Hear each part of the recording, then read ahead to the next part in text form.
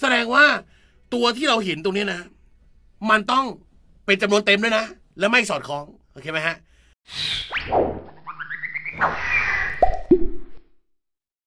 อะต่อไปครับ 94 นะครับ ไปต่อทุกคน ข้อ 94 ข้อมูลชุดหนึ่งมี 10จำนวน มีค่าเฉลี่ยเลขคณิตเป็น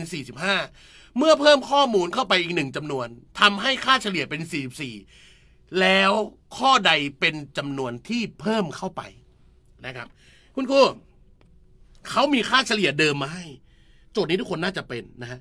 มีค่าเฉลี่ยเดิมๆมาให้ว่ามีข้อมูล 10 ตัวมีค่าเฉลี่ยเท่ากับ 45 นะครับนะอ่าต่อไปเมื่อเพิ่มเข้าไปอีกหนึ่งจำนวนทำให้ค่าเฉลี่ยเป็น 44 นะฮะเห็นไหมพอเราเห็นแบบนี้ปั๊บเรารู้เลยว่า ของเดิมเนี่ยมีข้อมูล 10 ตัวนะฮะถ้าน้องจำสูตรค่าเฉลี่ยได้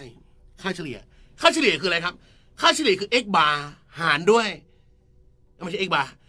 x bar เท่ากับ summation x หารด้วย n นะครับนะเออตอนนี้สมองอาจารย์แก๊ปเริ่มงงงหมดแล้วนะครับนะออดูหนุนดูนี่ดูอันนี้ด้วยนะครับนะดูในโทรศัพท์ด้วยอีกหนึ่งช่องทางนะครับนะเออก็เลยเออสมองก็คิดไปหลายอย่างเลยคุณครูนะครับนะเอออะมาทุกคนเรามาเริ่มกันดีกว่านะครับนะเออไหนคอมเมนต์ดูคอมเมนต์หน่อยนะครับ ค่าเฉลี่ยพวกเรารู้สูตรอยู่แล้วนะครับ x bar x bar เท่ากับผลรวม ผลรวมข้อมูล หารด้วยจำนวนข้อมูลจำนวนข้อมูลนะฮะสูตรมีแค่นี้แหละนะครับนะเพราะฉะนั้นเราจะหา x bar ตัวนี้ได้เนี่ยไอ้สีเขียวเนี่ยข้อมูลจะมีทั้งหมด 11 ข้อมูลอยู่แล้ว แต่เราไม่รู้ว่าผลรวมมันได้เท่าไหร่โอเคไหมเราต้องแอบไปหาผลรวมของสีเหลืองก่อนโอเคไหมครับ เริ่มคุณครูเราก็ต้องแอบมาหาผลรวมสีเหลืองตรงนี้ก่อนฮะเขาบอก x bar สีเหลืองเนี่ยได้ 45 เท่ากับผลรวมข้อมูลอาจารย์เขียนย่อๆแล้วกันนะ ผลรวม หารด้วยจำนวนข้อมูลของเดิมๆมีข้อมูลอยู่ 10 ตัวเราก็ต้องหารด้วย 10 เพราะฉะนั้นถ้าเรา 10จากหารอยู่ขึ้นไปคูณ ก็จะกลายเป็น 45คูณ10 45คูณ10 ก็จะเป็น 450 ทุกคน คือผลรวมคำถามปากกาแดงนะคำถาม ผลรวมที่ได้ 450 เนี่ย คือผลรวมกี่ตัวครับ ผลรวมข้อมูลกี่ตัว คำตอบก็คือ 10 ตัวถูกต้องไหมนี่ไง ข้อมูล 10 ตัว ค่าเฉลี่ย45 แก้ไปแก้มาได้ผลรวมเป็น 450 แสดงว่าผลรวมทุกตัวของ 10 ตัวตรงนี้นะ มันเป็น 450 แต่เราต้องการเพิ่มข้อมูลเข้าไปอีกตัวหนึ่งนะครับ เพราะฉะนั้นตอนเราเอามาคำนวณตรงนี้ตอนที่เพิ่มข้อมูลไปเนี่ย เราไม่รู้ข้อมูลที่เพิ่มเข้าไปเนี่ยคือเท่าไหร่นะครับอ่าคุณครูพลอยสิบตัวค่ะถูกต้องครับครูธนากรสิบตัวโอเคนะครับนะ โอเคนะ ต่อไป เราก็หาเราจะหาว่าค่าเฉลี่ยมันได้เท่าไหร่นะครับ ค่าเฉลี่ยชุดใหม่เนี่ยได้ 44 นะครับ ซึ่งเรารู้อยู่แล้ว เราก็แทนเข้าไป 44 เท่ากับผลรวม ผลรวมคือเท่าไหร่ ผลรวมคือ 450 นะฮะ บวก x ที่เข้าไปนะครับ แล้วหารด้วยจำนวนข้อมูลคือ 11 ตัวนะฮะเห็นไหมคนอาจารย์คะ x x มาจากไหน x คือข้อมูลที่ใส่เข้าไปอีกตัวหนึ่ง เขาต้องการบอกว่าข้อมูลที่ใส่ไปหนึ่งจำนวนเนี่ยนะครับนะทำให้ค่าเฉลี่ยเป็น 44 แสดงว่าตัวอาหารต้องเปลี่ยนจาก 10 เปลี่ยนไป 11 แล้ว เพราะข้อมูลเพิ่มมาหนึ่งตัวนะเพราะฉะนั้นข้อนี้อยากต้องการไอ้หาไอ้ตัวนี้แหละนะครับนะขอจะใช้สีเขียวตัวนี้นะครับ มันก็ใช้สูตรอยู่แค่นี้แหละคุณครูเพราะฉะนั้นจะหา x ครับทุกคนครับเราก็เริ่มเลยเอา 11 คูณไขว้เข้าไปนะฮะเพราะฉะนั้นตรงนี้จะเป็น 44 คูณกับ 11 คุณครูคูณเลยไหมคูณเลยนะ44 44คูณกับ 11 นะฮะ 11คูณ4ได้44 44ทด4 11คูณ44ได้44ทด4เป็น48นะครับ เพราะนั้นถ้าเอา11ขึ้นไปคูณเนี่ยได้484นะฮะก็เป็น484ทุกคนรู้จักการคูณเลขแบบบรรทัดเดียวเนาะทุกคนรู้จักนะอ่าทองแม่11แล้วไปคูณเลยนะครับ เราไม่ต้องไปนั่ง 4 1 4 อยู่เสียเวลานะครับทองแม่11ไปคูณเลยนะครับ เท่ากับ 450 บวก x ครับ อยากได้ x ใจจะขาดทำไงฮะ ย้าย 450 จากบวกอยู่ย้ายไปลบนะครับ เพราะนั้น x ที่เราต้องการได้เนี่ยย้าย 450 จากบวกไปเป็นลบเป็น 484 ลบ 450 นะ คิดเลขเลย แล้วถ้าใครฝึกดีๆ เชื่อไหมคุณครู ไอ้พวกนี้ไม่ต้องทดเลยนะครับ ใครฝึกดีๆ นะ เนี่ยพวกนี้ไม่ต้องทดเลย นะครับใครที่ฝึกดีๆ จะรู้เลยว่าผลรวมข้อมูลเป็นเท่าไหร่ใช่ไหมแล้วเราก็จับตรงนี้ไปลบกับตรงนี้จะโผล่มาเป็นบรรทัดนี้ได้เลยนะครับสำหรับคนที่ฝึกมาแม่นๆแล้วนะฮะโอเคไหมเพราะฉะนั้นคำตอบข้อนี้ก็คือ 484ลบ450 ก็จะเป็น 34 ครับคำตอบข้อนี้คือช้อยข้อที่ 1 ครับผมผลข้ออยู่ที่การฝึกฝนนะครับนะ ไม่ว่าจะเป็นเรื่องการทดเลขนะครับ วันสอบเรามีเวลานาทีครึ่งนะ นาทีครึ่งเนี่ยน้องจะต้องทดเลขให้ทันนะครับ แล้วถ้าเป็นข้อง่าย ๆ แบบนี้ น้องต้องเผื่อเวลาการทดเลขไปโจทย์ข้ออื่นด้วยนะครับ นี่คือหลักสำคัญเนาะในการสอบข้าราชการนะครับ ต่อไปทุกคน 94 ผ่านไป 95 มีจำนวนเต็มกี่จำนวนที่ไม่สอดคล้องกับ x กำลังสองมากกว่า 13 ทุกคนไฮไลท์คำนี้เลยครับ ไม่สอดคล้อง มีกี่ตัวที่ไม่สอดคล้อง พูดไม่สอดคล้องคือยังไงอาจารย์ ก่อนจะว่าว่าจะไม่สอดคล้องยังไงน้องขีดเส้นใต้คำนี้ให้หน่อยจำนวนเต็ม ขีดหน่อยครับจำนวนเต็ม แสดงว่าตัวที่เราเห็นตรงนี้นะ มันต้องเป็นจำนวนเต็มด้วยนะ แล้วไม่สอดคล้อง โอเคไหมฮะ อ่า วันสอบตื่นเต้นลืมหมดนะ อ่า เรื่องนี้ต้องมีวิธีการฝึกฝนนะครับ นะ ใครอยู่ในกลุ่มอยู่แล้วมันจะมีกล่องใช่ไหม กล่องแห่งการเรียนรู้นะครับทำยังไงให้วันสอบมันจะไม่ตื่นเต้นนะครับ มันก็ต้องมีวิธีการนะคุณครูนะเออมันลืมอยู่แล้วแหละคุณครูถ้าเราไม่ใช่เอกคณิตศาสตร์อะมันลืมแน่ๆนะครับนะอ่าทุกคนเพราะนั้นเราก็ต้องมาดูว่าจำนวนเต็มตัวไหนที่ไม่สอดคล้องคำว่าไม่สอดคล้องก็คือว่า มันจะทำให้ตัวเนี้ยไม่เป็นจริง ยกตัวอย่างเช่นจำนวนเต็มที่ x เป็นศูนย์ศูนย์จำนวนเต็มไหมเป็น ไม่สอดคล้องยังไง ทุกคนดู ศูนย์ยกกำลังสองมากกว่าสิบสามไหมคุณครูเอา x เป็นศูนย์ไปแทนที่ x ตรงนั้นนะอ่าก็จะได้เป็นศูนย์กำลังสองนะครับศูนย์กำลังสองได้ศูนย์ศูนย์มากกว่าสิบสามถูกไหมตลกแล้วทุกคนครับศูนย์มันไม่ได้มันไม่ได้มากกว่าสิบสามจริงไหมเพราะนั้นตัวเนี้ยเขาเรียกว่าไม่สอดคล้อง เนี่ยนับเป็นหนึ่งตัวที่ไม่สอดคล้องนะครับ เพราะนั้นเขาถามน้องว่า มีกี่ตัวที่ไม่สอดคล้องนะครับเราก็ต้องเล็งเห็นละเออ x เป็นศูนย์ x เป็นหนึ่ง x เป็นสอง x เป็นสาม x เป็นสี่แล้วก็ต้องค่อยๆ ไล่ไปใช่ไหมว่าตัวไหนที่มันไม่สอดคล้องมั่งเอาให้หมดเลยนะฮะทุกคนเริ่ม แทนหนึ่งเข้าไปหนึ่งกำลังสองมากกว่าสิบสามหนึ่งกำลังสองได้หนึ่งหนึ่งมากกว่าสิบสามไหมไม่ใช่นะครับนะถ้ามากกว่านี้ตลกแล้วนะครับนะไม่ใช่ ต่อไปสองสองกำลังสองมากกว่าสิบสามไหมสองกำลังสองได้สี่ใช่ไหมทุกคนสี่มากกว่าสิบสามไหม ไม่ใช่นะไม่เอานะครับนะเอ่อต่อไปฮะสามได้ไหมสามกำลังสองมากกว่าสิบสามได้ไหมสามกำลังสองได้เก้าเก้ามากกว่าสิบสามไหมไม่ต่อไหมต่อไปสี่สี่สี่กำลังสองมากกว่าสิบสามไหมสี่กำลังสองได้สิบหกสิบหกมากกว่าสิบสามไหมอ้าวเกินสิบหกมันมากกว่าสิบสามมันถูกต้องนี่หว่า ถูกต้องเขาเรียกว่ามันสอดคล้องโอเคไหมมันสอดคล้องนะครับนะสอดนะ มันสอดคล้อง สอดคล้องก็คือไม่เอาเข้าใจไหมนี่ทุกคนดูตรงนี้ กาดอกจันไว้เลยนะครับ ทุกคนนะ กาดอกจันไว้เลยเขาถามตัวที่ไม่สอดคล้องนะครับ เพราะนั้นตัวที่สอดคล้องไม่เอานะครับนะเพราะนั้นตัวที่ไม่สอดคล้องมีหนึ่งสองสามสี่แค่นี้ไหมไม่ใช่นะครับนะ ใครอยู่ในกลุ่มลับแล้วตอบสี่ตัวตอบช้อยข้อหนึ่งเนี่ยนะครับนะเออพี่ตีตายเลยนะครับนะตีหนูทำไมอะ ติวไปแล้วฮัลโหลโจทย์ข้อนี้นะคุณครูอยู่ในหนังสือเรานะอยากจะเปิดให้ดูจังเลยนะครับนะอยู่ในหนังสือเรานะครับนะหนังสือเล่มสีชมพูนะครับ ใครไปติวคอร์สไหนมาจะเป็นหนังสือเล่มนั้นแหละนะครับ ติวไปแล้วคุณครูอันนี้นะครับเพราะนั้นมันจะไม่มีแค่นั้น มีตัวอื่นด้วยที่เป็นจำนวนเต็มและที่ไม่สอดคล้องก็คืออะไรครับ มีอะไรบ้างลบหนึ่งก็ด้วยลบสองก็ด้วยลบสามก็ด้วย เพราะอะไร เพราะถ้ามันไปยกกำลังสองมันก็เป็นบวกอยู่ดีนะครับนะ อย่างเช่นลบหนึ่งกำลังสองมันมากกว่าสิบสามไหมล่ะลบหนึ่งกำลังสองมาได้หนึ่งใช่ไหมอ่าหนึ่งมากกว่าสิบสามไหมไม่นะครับ ตัวนี้เขาเรียกว่าไม่สอดคล้องด้วย เพราะนั้นลบหนึ่งลบสองลบสามมันจะไม่สอดคล้องด้วยกันนะครับนะ เพราะนั้นคำตอบข้อนี้จะมีกี่ตัวหนึ่งสองสามสี่ห้าหกเจ็ดมีทั้งหมดเจ็ดตัวคุณครูครับ ตอบช้อยข้อที่สองครับผม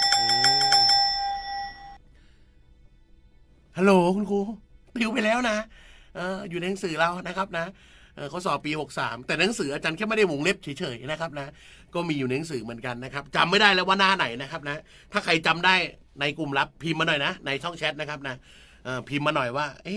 อยู่หน้าไหนนะอาจารย์จำไม่ได้แล้วนะครับนะ หนังสือเราอะอยู่หน้าไหนวะอาจารย์ก็จำไม่ได้หรอกนะ อืม ใครจำได้อะเนี่ยพวกนี้เราก็มีติวหมดใช่ไหมเออ นะ อยู่ไหนไม่รู้อะ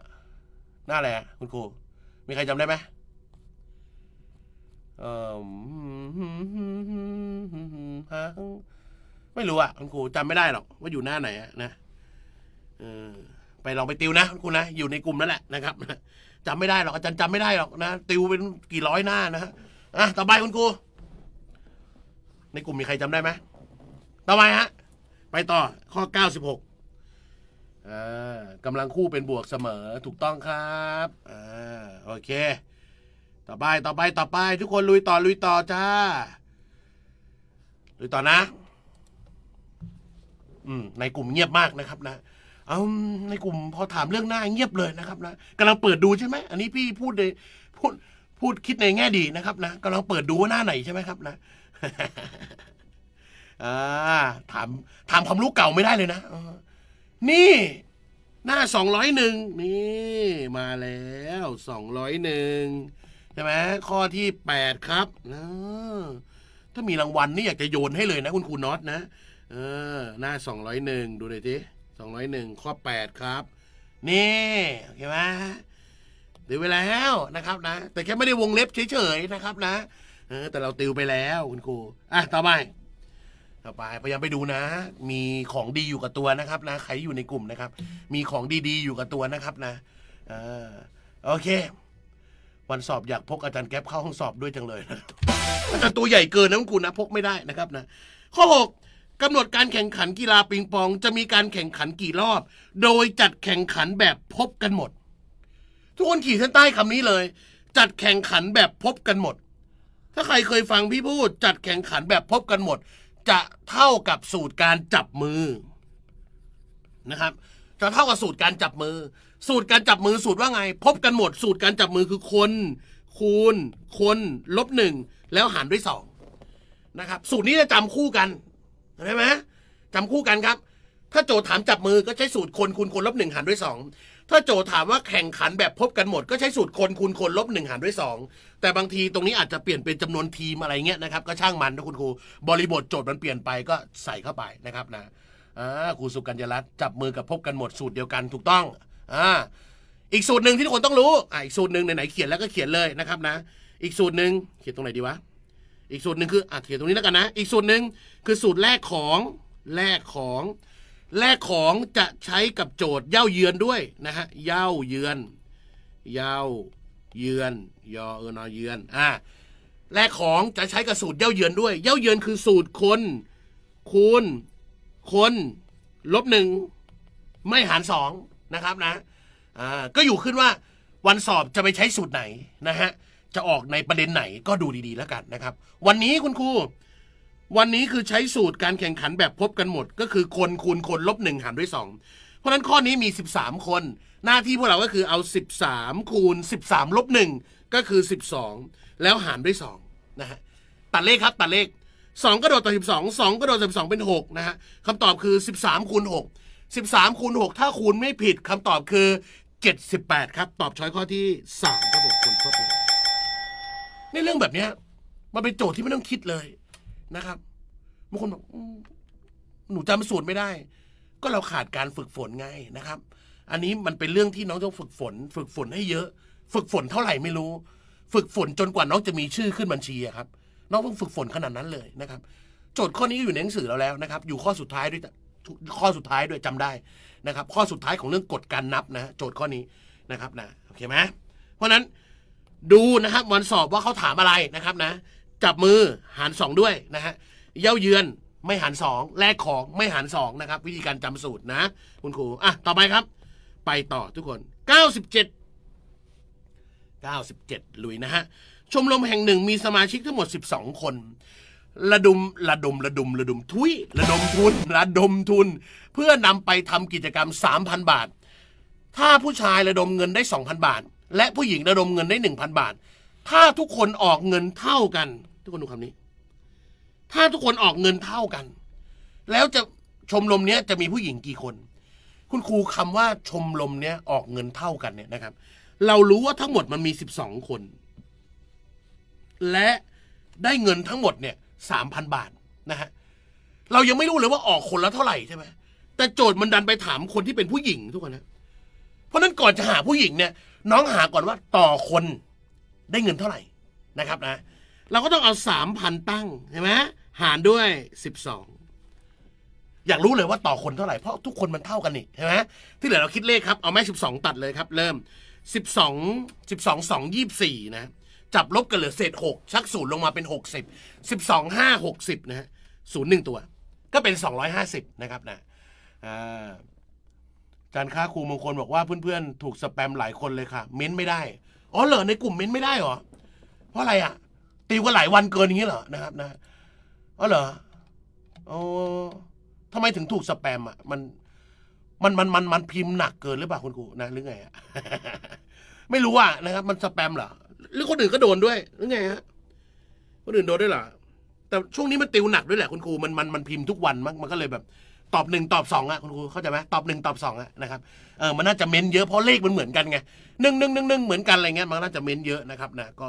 โอเค เป็นระบบ Facebook เขานะครับนะกดหัวใจให้อาจารย์แล้วกันนะครับนะ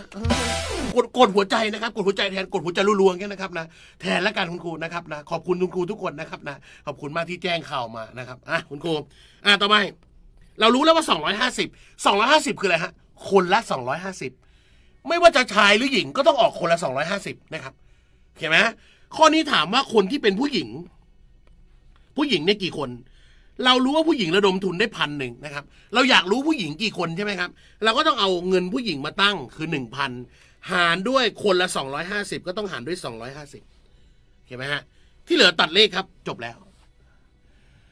อ่ามันขึ้นสแปมนะ มันขึ้นสแปมค่ะ วิชาวิชาอื่นได้ค่ะอาจารย์ ยกเว้นภาษาไทย หนูเม้นไม่ได้ อ๋อ มันเป็น เป็นที่คนไปเนาะเออเป็นที่คนคนไปนะครับนะอะโอเค คุณครูสู้ๆแล้วกันนะครับนะอะต่อไปครับตัดเลขไปนะครับ เอาหนึ่งร้อยตั้งหารด้วยยี่ห้าตัดปั๊บเลยคือสี่แสดงว่าผู้หญิงจะมีสี่คนคำตอบข้อนี้คือสี่คนนะครับนะครูกิติภูมิ สวัสดีครับครูกิติภูมิสวัสดีทุกคนเลยนะครับสี่คนฮะฝนฟับเลยเออโอเคเนี่ยโจทย์เหล่านี้ไม่ยาก โจทย์เดี๋ยวนี้ไม่มีสูตรลัดอะไรเลยนะครับ วิเคราะห์โจทย์ให้ดีว่าเขาถามอะไรเราต้องหาอะไรมาก่อนนะแล้วจะได้คนนี้ยังไงนะครับนะอ๋อครูครูยาครูยานัดอ่าครูยานัดโอ้อ่านชื่ออ่านลำบากคุณครูนะครับครูยาเฉยแล้วกันนะครูยาบอกอาทิตย์ที่แล้วก็โดนค่าโอเคนะครับนะอ่าอ่าโอเคครับนะ ต่อไปคุณครูข้อ 98 ลุยต่อ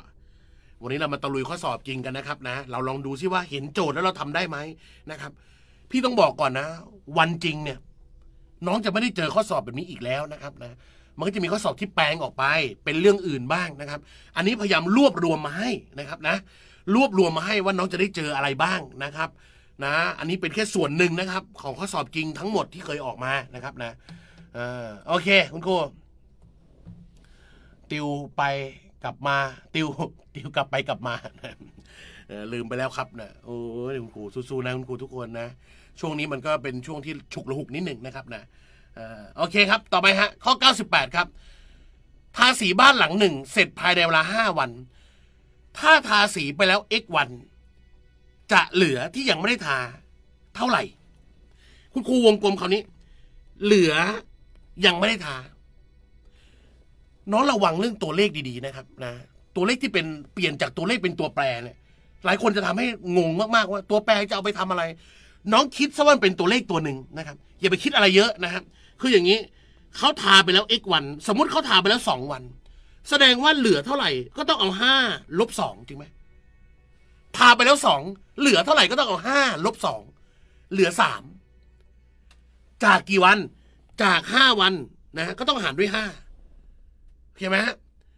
เพราะช้อยเนี่ยจะเป็นส่วนห้าหมด ก็คือจากห้าวันก็คือต้องหารด้วยห้านะครับ ประเด็นต่อมาคือ มันเป็นตัวแปรจากสองน้องก็เปลี่ยนแค่เป็น x ตรงนี้นะครับ เพราะฉะนั้นตรงนี้น้องก็เปลี่ยนเป็น x เท่านั้นเองนะครับ เพราะฉะนั้นคำตอบข้อนี้คือ เหลือเท่าไหร่ ก็น้องก็ต้องเอาห้าลบสี่ก็เหลือห้าลบ x ห้าห้าลบ x นะฮะอาจารย์พูดสี่เหรอเมื่อกี้นี้นะครับห้าลบ x นะก็ต้องเอาห้าตั้งลบออก x นะครับ เหลือเท่านี้แหละห้าลบ x นะครับจากทั้งหมด 5คำตอบข้อนี้คือ 4 ครับผม คือหลายคนกลัวตัวแปรนะครับ น้องอย่าไปกลัวตัวแปร นะครับนะตัวแปรจะเป็นอะไรช่างมันนะครับเขาทาไปแล้วคือเขาใช้ของนั้นไปแล้ว เหลือเท่าไหร่ก็ต้องลบออกนะฮะเอาเต็มๆคือ 5 ลบออก x นะครับคำตอบคือ 5 ลบ x นะครับจากทั้งหมด 5 วันก็คือต้องหารด้วย5นะครับนะหรือเขียนง่าย ๆ ถ้าไปเจอนะครับนะ ถ้าไปเจอโจทย์แบบนี้อีกนะครับ ก็คือเอาทั้งหมดนะครับทั้งหมดลบที่ใช้ไปนะครับ หารด้วยก็คือทั้งหมดทั้งหมดเนี่ยทำแค่นี้นะครับ นะไปเจออีกน้องต้องทำไม่ได้นะครับนะ คุณครูท่านคงปฏิเสธไม่ได้ใช่ไหมครับว่า การบรรยายครั้งนี้นั้นมีประโยชน์ ขอฝากท่านส่งต่อความสำเร็จ โดยการกดแชร์ กดไลค์ กดติดตามคลิปนี้ เพื่อทำให้เป็นการให้ที่ไม่มีที่สิ้นสุด และติดตามอาจารย์แก๊ปได้ในโอกาสต่อไปครับ สวัสดีครับ